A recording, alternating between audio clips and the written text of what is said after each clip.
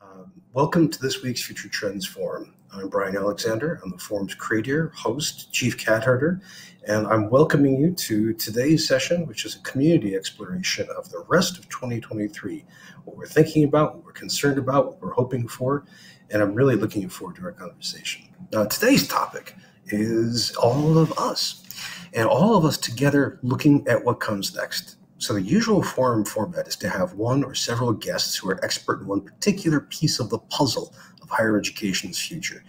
But every so often we break out to have a melting of the minds, where we put our minds together and think about where we are headed.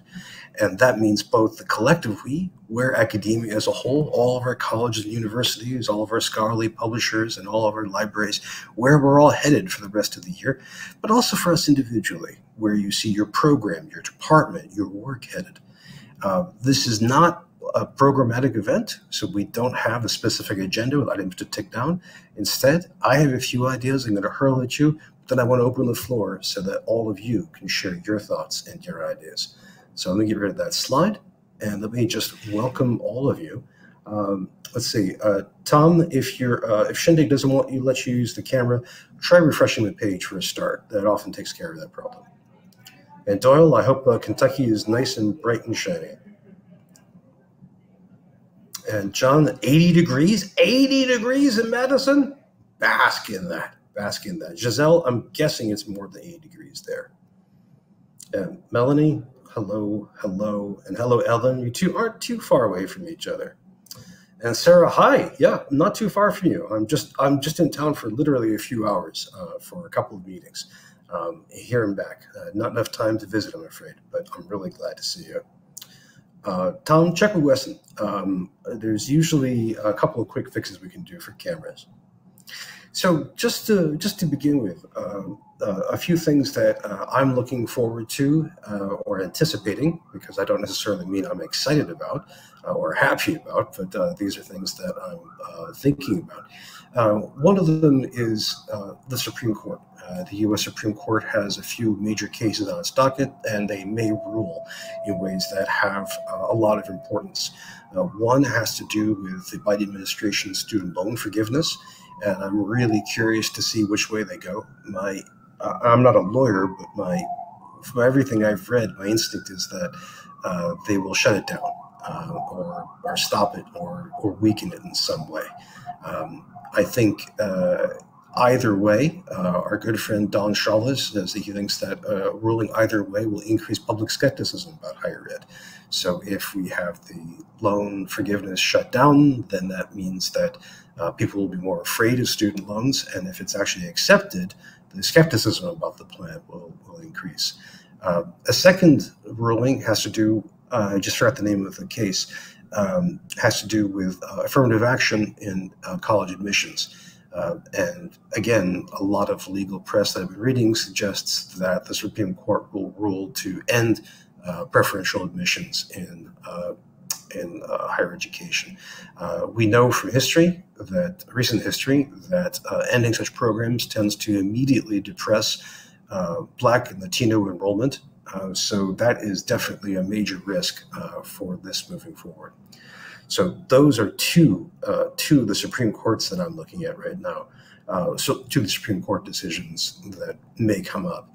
Um, uh, Don uh, Shaulis also reminds us um, that we should be paying attention to the enrollment cliff.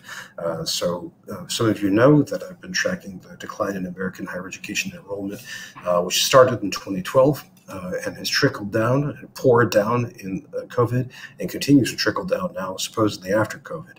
So I'm very concerned about high school graduation rates, how many people come out of this, how many apply, and to what extent adult learners uh, enroll in higher education. So I'm very, very interested to see what data we get about fall enrollment numbers. Uh, now, Keel uh, Doomsch, our good friend, uh, pointed this out to a Chronicle of Higher Education article. And I'm just going to share this here um, in the chat. Um, now, it's behind a paywall. Um, so I'm not going to have a. Uh, uh, if you don't have access to it, uh, you might not be able to uh, read it right now. Uh, but I just want to hit a couple of the major highlights of it, uh, just to share, because I think it's it's it's pretty powerful. Um, the the piece here is concerning. Uh, it's a criticism of, of where higher education is right now, um, based on a few different uh, angles and a few different issues. Um, and here, let me just bring this up so everyone can see it. Um,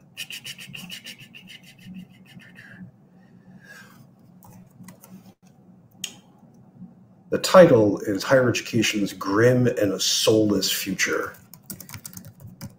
which is a, a great title, a kind of death metal title. Um, so you can imagine, you know, someone saying that higher ed's grim, soulless, and techified future.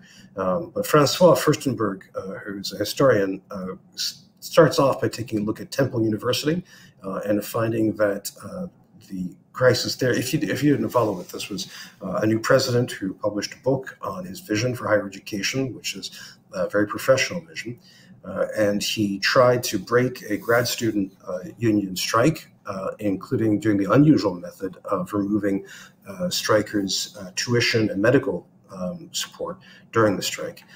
this backfired. The university settled, and the president resigned, um, which is pretty drastic and unusual. Uh, and uh, Professor Furstenberg argues that what we're seeing is uh, uh a whole kind of neo-corporate, neoliberal plan uh, for higher education, uh, which emphasizes reducing human capital, reducing compensation, squeezing the number of people who actually work there. Technology plays a role in reducing costs, and Furstenberg charges with replacing human interaction and degrading the overall experience. So uh, I'd be happy to say more about that uh, if we get a chance, but I want to make sure that uh, uh everyone gets to see that. Um, uh, Keel says it's a free subscription. Um, Keel, is that right? Um, I thought Inside Higher Ed had the free uh, subscription wall, and that Chronicle charged you. Um, but if not, well, that's good news. And then in the chat, um, Elena I'm sorry, I'm trying to read your name, Elena. Uh, I believe it's O'Malley. Um, uh, Elena O'Malley mentions uh, ChatGPT. So this is, in many ways, one of the uh, great, great challenges. In fact, this just came up in a meeting I had this morning. Um, people are doing uh, are very concerned about large language models, both for chat gener- text generation and for image generation. They're very concerned about what they might mean in numerous directions. We've had a series of uh, forum sessions on this, and I'm, I'm happy to uh, say more about that. But I'm also happier to hear uh, more from you. Um, so let's see. Um, those are a few things that I'm thinking about. Um, and these are a few things that are uppermost in my mind right now. Which of these would you like to discuss? Or are there other topics that you'd like to bring up? Uh, so please just fling us a note in the chat box uh, or click the Q&A box uh, if you'd like, or raise your, click your hand raise so that you can join me on stage. I'd be glad to host you.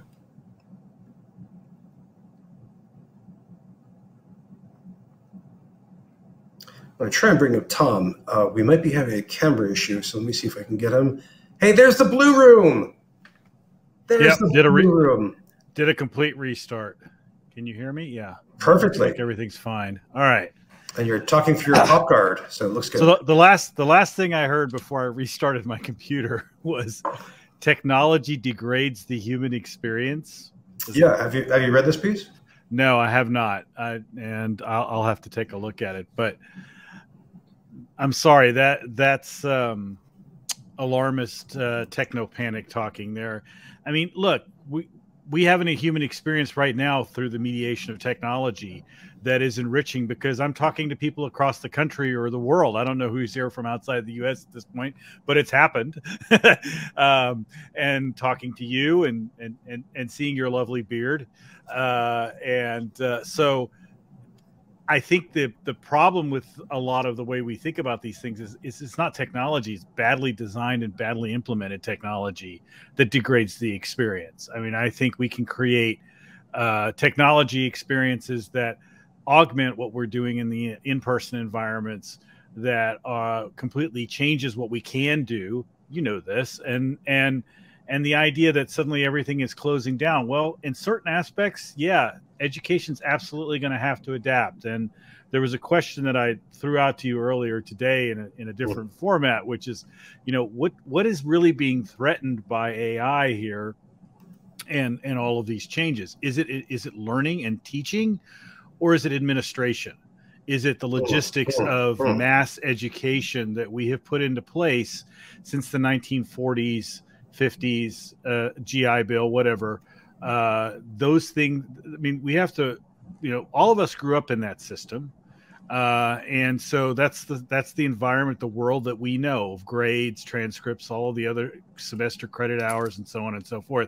If you go back further than that, though, you will see that's not the world of education that existed by and large before World War II. Uh-huh. So you know it's a matter of perspective it's a blip you know the blip may have been the world we grew up in on a lot of different levels including climate change and consumerism and all the other things that went with that and I think yes, we're on we're on the we're on the cusp of a change. The smoke from which we've seen for 20 years now, and generally refuse to acknowledge, uh, AI is just the latest uh, nail in that coffin, so to speak. Um, but who are we burying here? Are we burying learning and, and knowledge? I mean, this is a human thing that goes back since we came down from the trees. We've lost the ability to tap into that into that uh, desire, that knowledge, and that's what's in, under threat. You know, if we're talking about an industrial model that basically spews out students like widgets and makes them pay for the experience, as as Kyle will gladly, I'm sure, uh, second that. Um, yeah, okay, we're cruising for a bruising. Um, and uh, we also miss, I mean, the demographic shift. I've been saying this for over a decade now that means we need to attract different customers. Yeah, there are less 18 to 24 year olds. That's that should not be our only market. Uh, and uh, no matter where the institution is, I mean, we don't want to stop. The idea that we stop learning after we get out of college is ludicrous. Uh, we learn a lot more after we get out of college and for the rest of our lives. And when you stop learning, then you're in real trouble. Uh, well, let, let, so, yeah. me, let, me, pause you there just for a second because this is great, and this is me nodding uh, along with you. Yes, yes, yes, and uh, and and you've got a, a, lot of support here in the chat, um, uh, and uh, you know, uh, so Kill seconds you. Um, just just really quickly, um, just to just to summarize this, I can give you a couple good quotes if, if, if you would like. the main charge here, I think, is first uh, saying that uh, universities think, university administrations thinking in very market corporate terms are turning to educational technology in order to save money and also to measure things which are difficult to measure, uh, namely certain skills. Um, take a take a look at the whole piece. I, I can't. Yeah. I, I, don't want to read the whole thing, but but the but the saving money part. That's part where the I think the degree of experience is basically swapping out technology for people. Uh, and I agree completely um, what you say. I mean, first of all, we're connecting through technology, and also humans do connect through technology. But um, the uh, uh, another part is that uh, the author sees this as allied to uh, for-profit uh, entities. Um, mm-hmm. I just quoted him. Sorry. Um, the uh, uh, so that's that's the profit motive is there. I mean, this is overall a, a, an attack on, or sorry, a critique of higher education as being too neoliberal. The the point about skills is interesting. Uh, Francois argues that uh, that the uh, that it's actually hard to measure skills, and the skills that employers are looking for are often the soft skills, which are harder to measure. Mm-hmm. And in fact, what employers are really looking for is the liberal arts uh, graduate, um, mm-hmm. Which schools like Temple were apparently turning against. Um, and there, there's there's more to it, but I I, I definitely yeah. a, a, agree agree with your rant. Um, so, uh, yeah, real quick on the on the uh, measurement thing. You know, over a decade ago, I was on a task force with uh, with our good friend Ruben and others uh, at the New Media Consortium to figure out learning analytics. And after about a year's worth of work, we basically came to the conclusion that the technology was not the issue. We could build the technology. It's the fact that we don't know the right questions to ask. We don't understand what learning is. So what are we measuring? I mean, how are you going to measure something you can't under you don't really understand? And I would say that that's that's a big problem with traditional learning analytics, which measure may, may, may be more adept at measuring um, content skills, uh, but it's an even bigger problem when it comes to soft skills because you you nurture those, you don't learn them. You you provide avenues for people to maximize their soft skills, and that's a conversation. That's not something you can necessarily. I mean, you can test for it and see where they are at the other end, but can you come up with a test that gets you there? I don't think so. I think that really is a conversation. Interesting, interesting. I think so. I, I think I think this is right. Um, uh, let me, Tom, if you can, if you can stick around there just just for sure. a minute. Um, I'd like to bring up um, on the point of skills uh, our friend Giselle LaRose, who uh, should be in the wonderful city of New Orleans today. Uh, and Giselle in in the chat shared a link to a Burning Glass study uh, about skills measurement. And Giselle is, of course, also a big fan of uh, online conversations like this one. Uh, welcome, Giselle. Hi, how, how are you? Good. It's really good to see you again. How's everything down there in the Big Easy? Good, good. I'm glad Tom stayed in the uh, in the mix because I'd like to see. My purpose in being here was to listen to the audience, but I'll be glad to add to what Tom said already to to stimulate the conversation. Very good. Uh, well, well tell us a bit more about this skills measurement that you're. That you're this is this is an article that I think uh, needs to go far and wide. Uh, primarily, uh, the they looked at.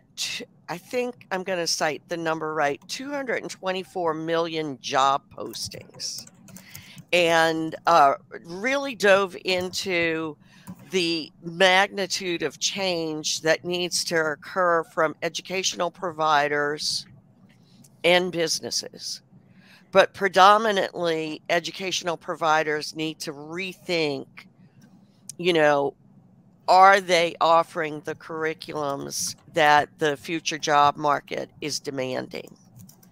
And um, I, I think their findings are pretty impressive. So, I'd love to hear, you know, to to to pony piggyback on your original question, Bryan.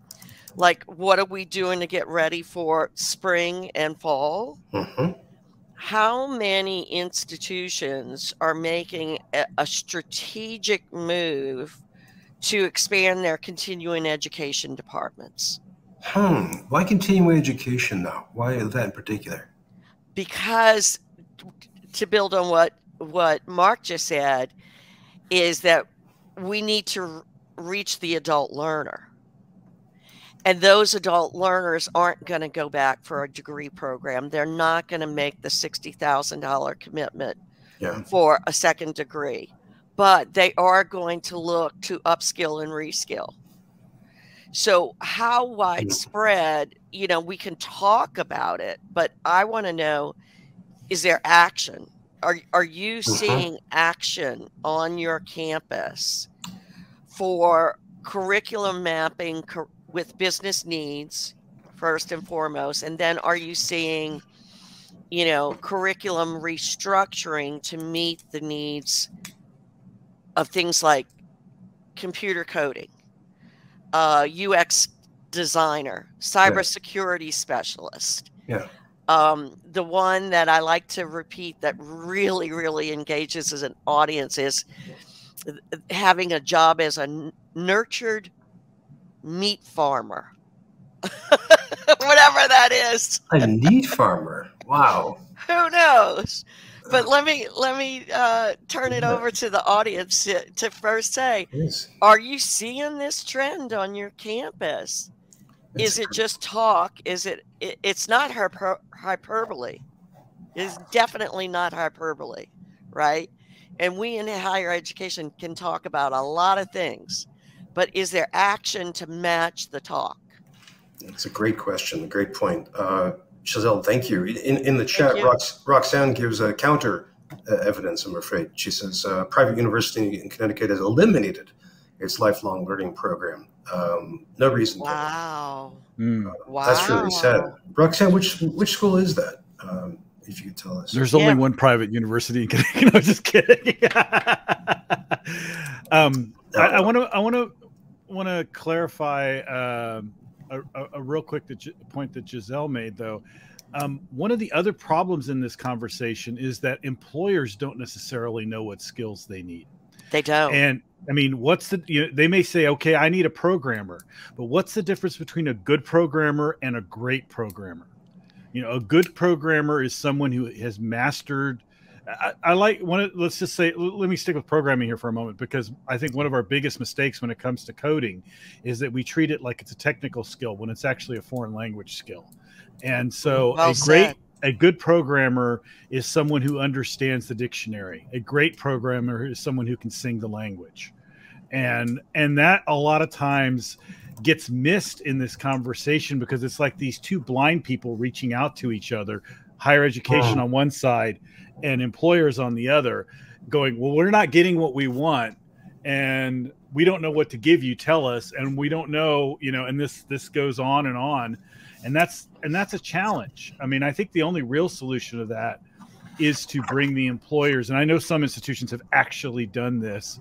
Uh, that um, uh, but you bring the workplace into the envi- into the teaching environment in a very direct way, and then you you you see who sinks and swims, and you try to figure that out. Now you can do that also as a, a research study as well. And again, I know that's been done, but um, the thing is, a lot of times this stuff is squishy and yeah. and yeah. there's no no one size fits all and that's a real problem and that's where that this is why I teach adaptability and flexibility first and foremost in my classes. I say you you don't know what's coming at you. You know, you don't know what AR is AI is going to do to your job in 10 years. But you need to be the one who's running the AI rather than the one who gets fired by the AI. And um, that's the theme in my book as well. I mean, that's you know, you cannot if you're if you're going to be the slave to the technology, you're you're fighting a losing battle. Yeah. If you're the master of the technology, when I say master, that doesn't mean you have to be a superstar programmer. You have to understand what's going on and how to use the technology. There's different pieces to that. You can be a superstar programmer, but that's not required. Uh, but the idea that you are a master of of putting together your your work environment or your personal environment when it comes to technology and, and finding the best pieces and constantly and knowing when to walk away from stuff because it's wrong it's badly hmm. done hmm. that's hard so um, mm-hmm. and so that's and that's what makes a good employee too because they also can look at systems just like they look at technology and say okay this system makes a lot of sense we'll use it or this system doesn't work so well we need to make some changes to it and then and then develop a new way of solving the problem and being adaptable um, I don't. I don't see in the chat any other uh, volunteers of uh, answers to your question, Giselle, which uh, which may just be evidence. Uh, however, uh, Elena O'Malley did want to join us from uh, Emerson, so let me just bring her up on stage so she can join us. Hello, Elena. How are you doing? Good. How are you doing? Oh, great! Now that you're here, welcome aboard. hey, welcome everybody. I just wanted to ask: Have you already? Have you all already talked about robot proof? I'm reading not, it now. Oh, wow. Not back. today.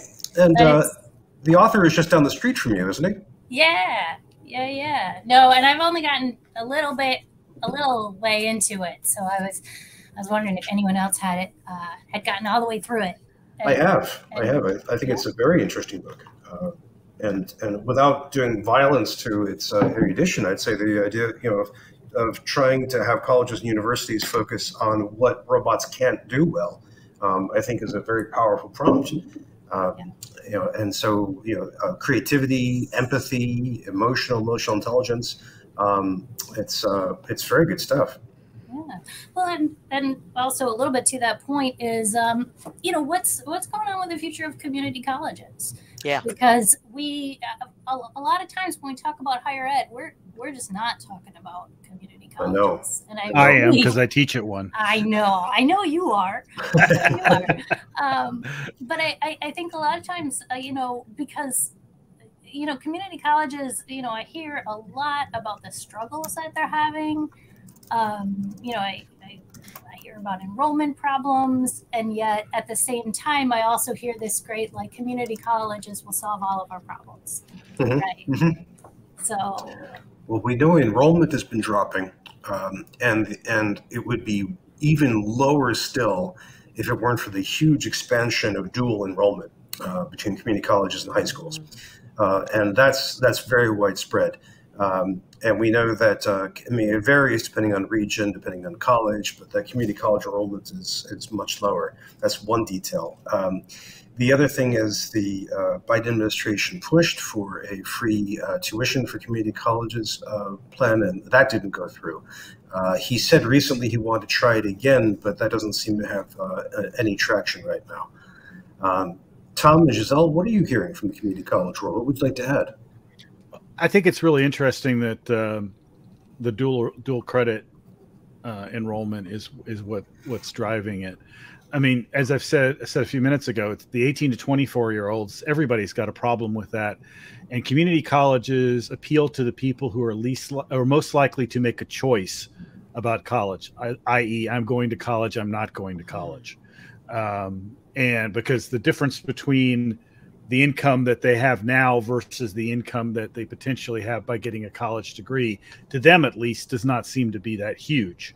And so, um, if they see a pathway forward without college, then they're more likely to say, I, am not doing this, uh, or because of financial and all sorts of other factors. So that's why we saw the huge drops during the disproportionate drops during the pandemic, because those students were much more likely to be impacted by that and likely to say, eh, I don't see the worth to it.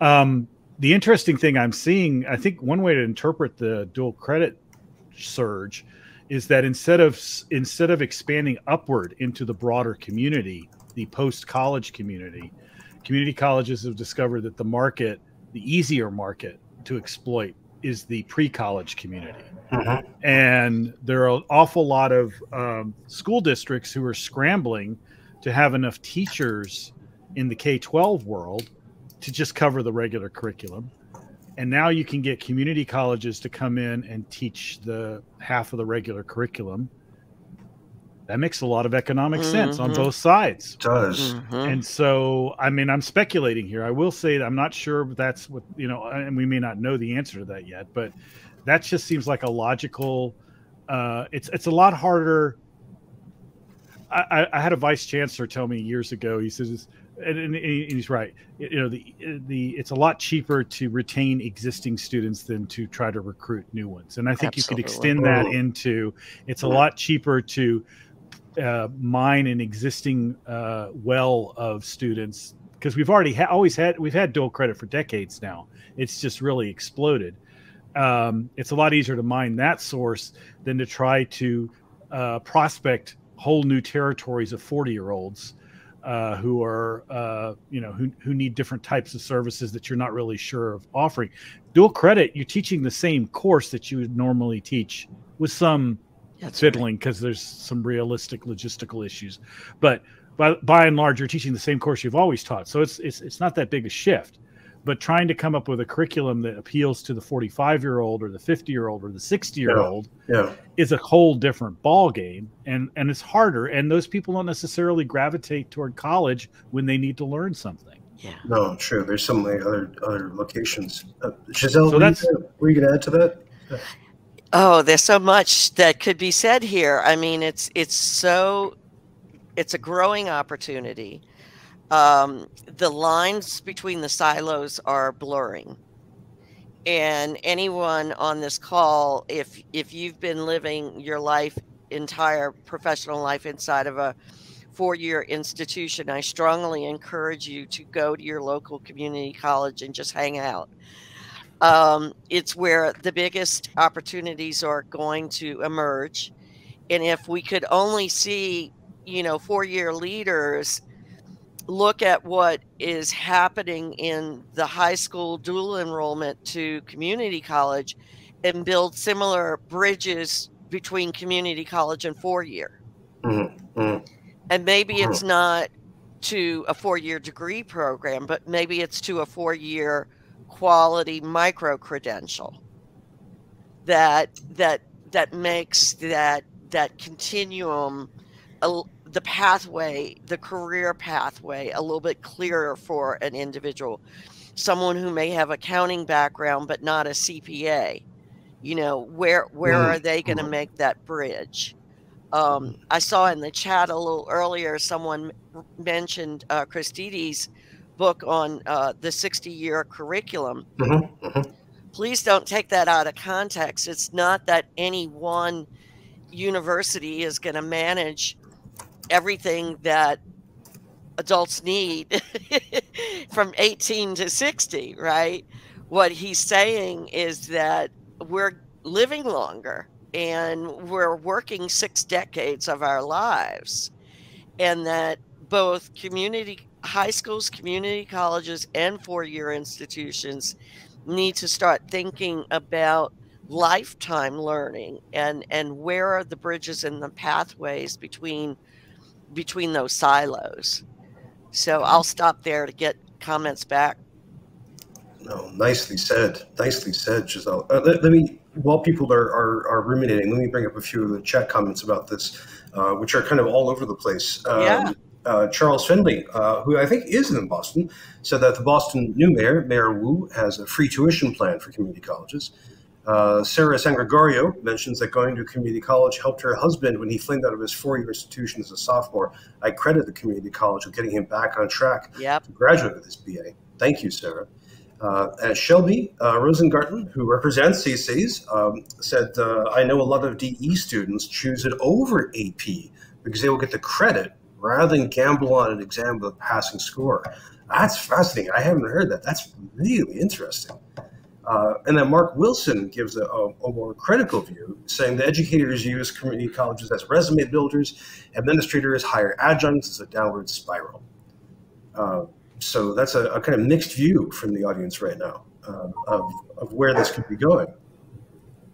Uh, Tom, you've got a question from Shelby, uh, who wants to know uh, when you when you mention um, liberal arts and and uh, connections between HCC and UT, uh, was that a direct admin bridge program, or will this? Uh, I, I answered it in the chat, but um, no, I mean it's all one program. So they actually, I was part of the team that helped put that together about a decade ago, but they actually we actually mapped out the curriculum so that uh, it's not a two plus two; it's a four-year degree essentially, where mm. uh, you're knocking out. Um, you take you take. It's not like you take all the HCC classes at the beginning and then all the UT Tyler classes at the end. You you're taking some of the uh, UT Tyler classes a little earlier, and also because there's a progression to get through an engineering degree at a reasonable amount of time. Uh, and so then you're still taking, and you leave some of the HCC classes behind you, but you take them still as a junior and senior because they're all here. I mean, the whole program is housed here. You know, right. it's it's a UT Tyler program, but the classes are 100% in Houston. So, thank you, thank yeah. you. Well, and I'm wondering if that is a, a growth area because I, I, mean I know Emerson at one point tried. Um, I don't know sort of how well we we held it up, but we were trying to convert you know community college into to to folks who would come here although we have a pretty specific focus which is not for mm-hmm. everyone so we have different models that uh, that are not quite as integrated as the ut tyler program but we also have the same kind of partnerships with a&m and um, uh, texas a&m and the university of houston uh, which are uh, articulated models more where it's more of a two plus two but um, the uh, um, uh, and then you do have to. I think you do still have to get admitted to the U of H or A and M program at at that point midway through. So it, yeah. yeah. you can come up with a different agreement with different partners and you know mix and match. But I think we need to start thinking about how we blend all this stuff. Yeah, because um, I, I mean, I am seeing it as a growth pattern, right? So a high school student gets out of high school with a community college degree, right. and then, as you said, mm-hmm. cost mm-hmm. is a huge issue, tuition like well you can get a four year degree you know two more years half the price um, right. but building that more formally yeah we've had some great uh, experiences as well with early college which is a fully blended where you mm. where you graduate as a senior in high school with an associate's degree as well wow. and actually i think that's the absolute best model because those students are 100% built into the program and they're working through high school at that level the problem with dual credit is that um, you're blending two different cultures, especially when you're teaching at the high school level. And that creates friction because yeah. high school has a certain pace to it, college has a certain pace to it. And uh, that's the number one complaint I hear from my, my fellow faculty who teach in in in in in in, uh, in the actual institution all right in the actual high school you know you got the bell you got announcements and bells and pep rallies and all this other stuff and and that really gets in the way of of focusing on the learning whereas a, an early college scenario those students go to a different campus that's nothing but dual credit and, well, and i'm uh, wondering about the ties with the homeschool market because uh, you know the, oh. the, the teenager i know going to community college is homeschooling and doing that. So I was completely left behind the, the high school environment altogether. Um, you know, is homeschooling and, and finds community college much better for that kind of pacing. Um, I will admit my older siblings ditched high school altogether to go to community college. So to me, this is like mm-hmm. a really obvious thing that, that you know, it, it obviously doesn't work for everybody, but there there is a population that it absolutely makes sense for. My daughter did the same thing, actually. Yeah. Um, she hated high school and she wanted to save money on the first few years of college. Um, and uh, and as is her wont, she did what she wanted. But but definitely, community colleges do have to adapt significantly, right? When you do have sixty year olds in your classroom and fourteen year olds, right? That that creates a very different environment to work with, and you know that the faculty really have to sort of think through what they're doing and how they how they approach things. But Mark made a Mark in the Mark Wilson in the chat made a very important point there, and he said that um, the seniors need resources, not programs. And I think the problem there is that no, we don't want to think about this as uh, plopping them into a seat and getting a two-year degree Correct. at sixty or whatever. The, this yeah. is again we we've got the the the degrees credit hours, all of this grades and everything else that goes with that, those are all part of the industrialization of education. And um, if they become meaningless, which frankly they're well on the way to doing that in some areas, uh, then that's where we're getting this pushback. You know, uh, is that's that's different from learning stuff, mm. right? we need a structure to learn stuff, but that's a different kind of structure necessarily than plopping everybody into a 16 week class or a five week class or a whatever, you know, all of the different little boxes that we've built for people to, to fall into when they learn. The, the reality is that learning doesn't work that way, period. Uh, you don't learn on a schedule. You don't learn English at nine o'clock and history at 10 o'clock your brain isn't built to do that. I don't have a history time and an English time uh, or a math time or whatever, although mornings are generally better for me. Um, but everybody works a little differently as far as that's concerned. Right. Um, but the, I mean, um, the biggest problem I run into with community college students is that the 16 week semester doesn't work for them. It's either too long or too short. Uh-huh. It's too uh-huh. long because things happen. Um, I'm, uh, D- Dean Dad had the some really great comments on this on the show he did. Well, God, it's a couple years back now, where he was talking about these, you know, five week programs where you take a lot fewer classes, but you they're much more intensive over a short period of time. Well, like and a block program. Yeah, the success rates on those are much higher because there's less less that can go wrong in five weeks than in 16 and and you're only risking one or maybe two classes in that scenario if something does go wrong as opposed to a 16 week semester. You may be risking five classes and having to flush all that down the toilet and start over. So that's mm-hmm. one. But the other thing is there's students who just need more time to process the stuff that I'd like to work for long like to work with for longer than 16 weeks because to get their brains wrapped around the college level stuff because of the deficiencies that they come into class with um, just takes that much longer. Not everybody moves at the same speed here. So how you know we don't have there's a certain amount of flex you can build within the box that is the 16 week semester. But once you get outside that box, I got to turn my grades in. I'm sorry, you're out of luck. Yeah, right. In in the, in the chat, Shelby uh, adds when she's had senior auditors. So I, I presume this means senior citizens, not academic seniors. They're there for the content. They've always wanted the time to learn they really enjoy the time to learn about literature, culture, history, interact with other students. Um, but just just listening to where where you're all going, uh, there's this is I think that moment in the forum when we get very radical. Uh, we had um, uh, this happened. That moment us. occurred when you put me on stage. Oh no, no, there's a different word for that. But uh, the, uh, uh, but, but we had uh, uh, we had comments from uh, two people in the chat who uh, John Hollenbeck says that a degree granting institution cannot provide lifelong learning. Yeah, I was going to jump on that one. go, go, go, go, ahead. Go ahead. I was going to be go, go ahead, Giselle. You know, sometimes I wonder whether or not we get caught up in linguistics. You know, life, this article, I would love, Bryan, if you would redo this uh, after everyone's read Burning Glass's article, right? Mm, mm, Because the context is subtle. It, it's not your seniors coming in for enrichment that's actually not what the article refers to. It refers to all the trends show that most adults, you know, starting at age 25 in their lifetime, could have as many as 12 jobs. When I graduated from college, it was a no no to switch jobs. Okay.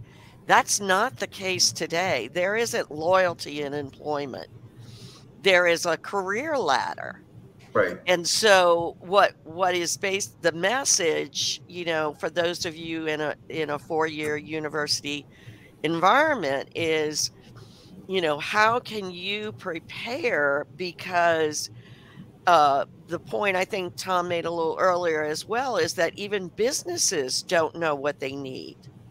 So they're hiring people and finding out, well, that's not really the skills I need. So they have to, the two groups have to come together to say, oh, okay, so what I used to think was public relations is now content marketing.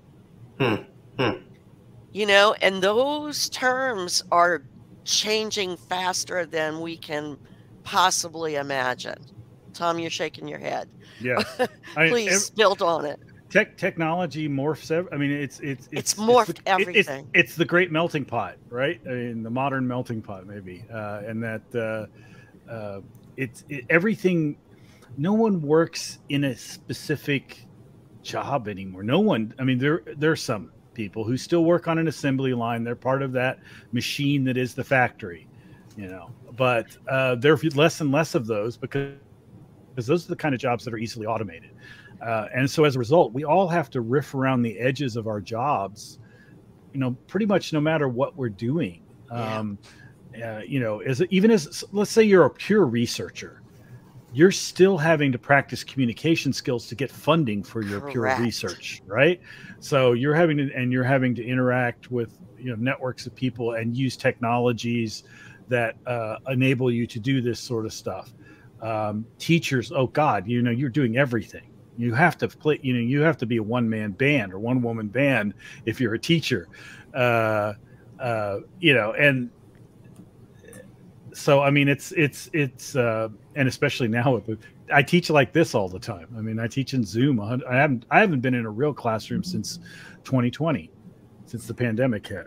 And um, mainly because you know I, I'm, I'm pretty right. good at riffing the technology, and so my chair says, "Oh yeah, well we need these," and that's what the students are demanding too. By the way, you know? so I mean all of these things lead to a much more fluid environment, and that's both wonderful because it gives us the ability to explore.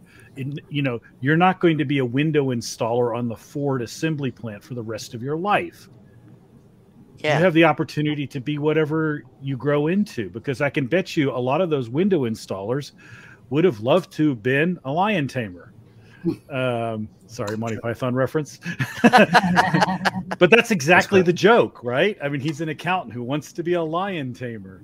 And so now we have the ability to all be lion tamers. We can tame virtual lions and not get ripped from arm to arm and so on and so forth. But I mean, yeah, I, but what do the I, lion tamers want to do? Uh, they want to be accountants because no, they want to be actors. right? Christopher Walken was a lion tamer. No way. So that's, that's what they want to do. oh no! I'm not, gonna, I'm not going to be able to unsee that image. Lion, what are you doing? I'm really an actor. But, but Bryan, one one real drop of spice to add to this conversation, eh, I'm going to ask maybe even John to take my place on the stage.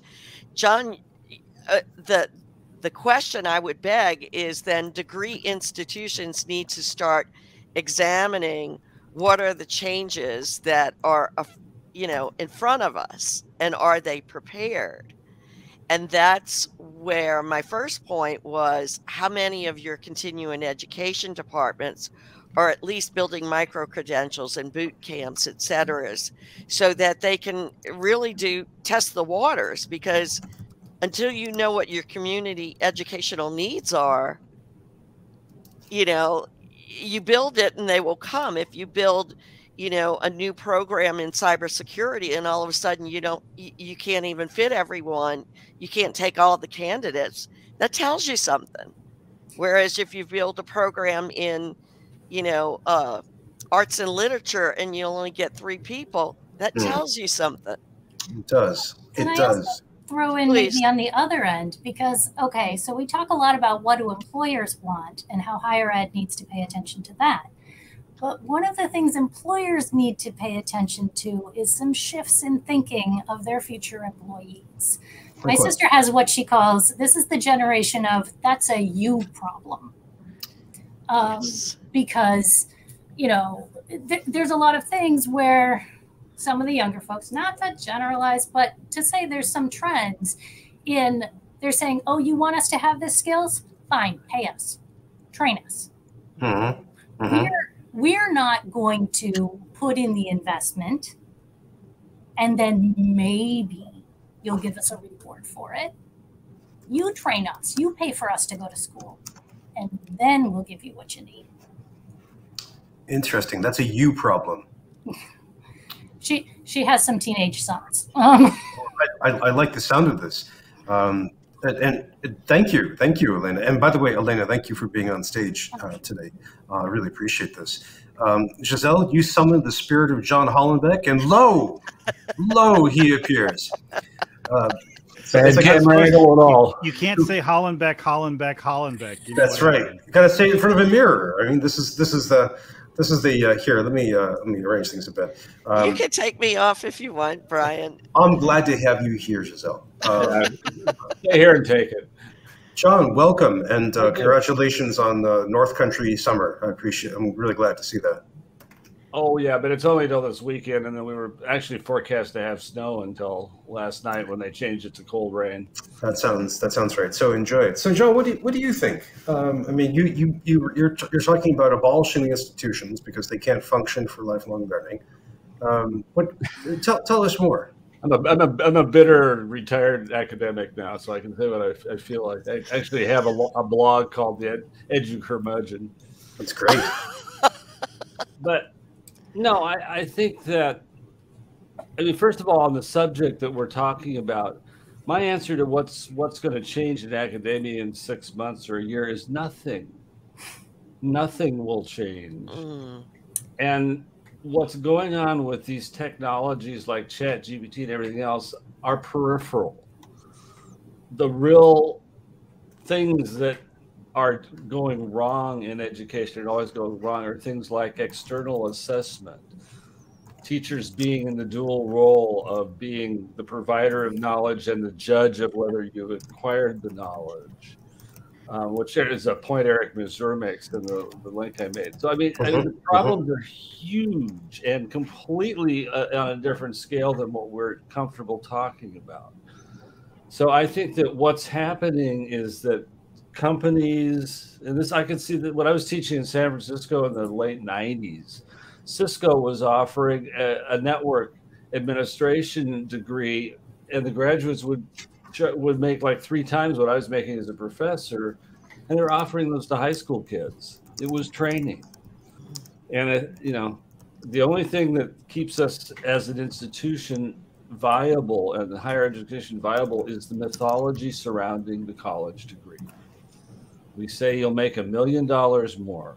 Right. I was a dean of education in New Mexico, and we try to give that to a poor person sitting on land that's been in his family for 400 years. No, it just doesn't fly. A million, nobody's going to make a million dollars out there, let alone a million dollars more. So I think you know we're we're just in so many we're so balled up in a lot of practices and everything else is that I just I, it, it, won't change. It can't change, and I really do think we need a new way, a new kind of institution. Uh, John, I can give you a statistic that you could chew on and move in a different direction is some are not going to change, Mhm. some are going to change, and some are going to disappear. Mhm. Okay. So it's not going to all of a sudden be, you know, a completely new restructured entity. But here's a statistic I want to leave with the audience. Uh, if you haven't looked at the work that Credential Engine is doing, it's worth your while. Okay. They they have compiled over one million credentials in the skills based economy, and they have also identified that those credentials are being offered by 59,000 educational providers. Wow. Think about that number. Mhm. Bryan, give me, Wow. because it's a moving number. I think we only have 6,000 institutions of higher education in this country, including graduate schools, community colleges, and four year, correct? Yeah, closer to four. So that's a very small percentage of 59,000 providers. So Wow. so it means adults are getting trained outside of the walls of a university, and that's Mhm. alarming. Fifteen To nine me. thousand. That's a, that's a huge, huge difference. Um, uh, wow, wow. Um, in, uh, uh, in in in the chat, uh, uh, Keel says we need a new set of institutions. Um, high school has turned into a scattered and aimless warm-up act for college. Um, I mean, it, it sounds like on the one hand we're describing some kind of sclerosis where uh, higher education cannot change. And John, if I- I'm, I'm paraphrasing you or reacting back to you, I mean that we're we're locked in place by all kinds of forces. And I think Giselle, your question before, how many of how many campuses represented here in this conversation are actually expanding their uh, adult learning? And the answer was none. In fact, we had one which canceled it. Um, and that's an interesting example of this. On the other hand, we seem to be in a consensus here that uh, that we think that the current ecosystem of education, from K through 12 through higher ed and grad school, is not really fit for the purpose of lifelong learning or a 60-year curriculum. That kind of make, leaves us an interesting endpoint where we have to think, on the one hand, what happens to this ecosystem, but then how do we design something new? How do we get uh, Keel his new set of institutions? um, so that we can actually support people in lifelong learning.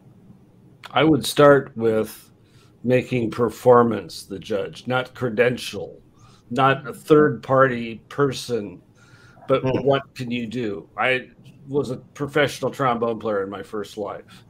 It's what came out of the end of the horn. It's Mhm. what it sounded like. Nobody cared about your education.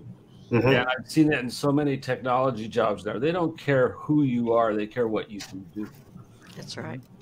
And that's an instructional design thing. What are people able to do at the end of this learning experience? Right. Right, and and that's I mean I'm I'm I'm very much a big fan of tangible work product. My my students create a public website as as a tangible evidence of what they how they how they, how effectively they can communicate, use visual information, uh, put all that stuff together, and everything in the course is oriented toward building that website. Yep. And I teach government, okay, so it's all the course. I mean, the, the students identify a challenge, a problem in society that they want to see fixed.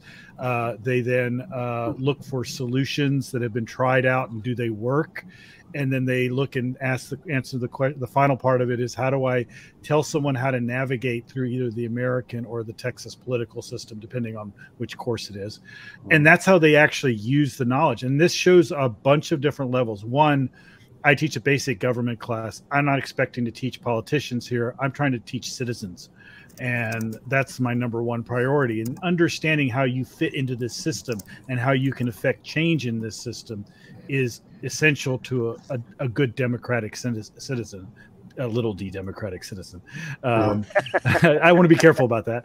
Um, but uh, but the thing is, this this website is theirs, and I tell them at the end of the day, if you do this right, this website's going to matter so much more to you than the fact that you got to be in a government class because you can show this to an employer and say i know how to communicate complex information to people who don't necessarily understand it i can put together i have the technical skills but more importantly have the narrative skills in order to make myself understood to my cust- your customers, to my fellow employees, et cetera, et cetera. Now that's only one piece of the puzzle, but that's the best I can do given a 16 week semester in teaching government.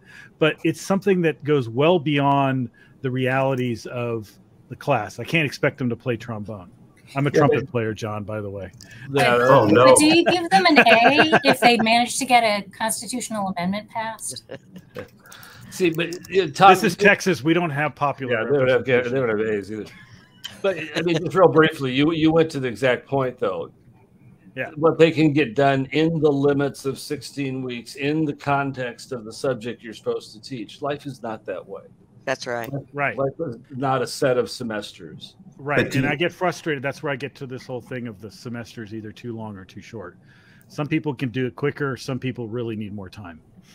So I, I, I, I- I have to just kind of gesture in this direction. Uh, first of all, I, I hate to pause this conversation because this has been delightful. Um, I, I just love seeing you all here um, and, and, and having you all and watching this conversation just continue. Let me pull out a couple of points from the chat which seem to line up with this.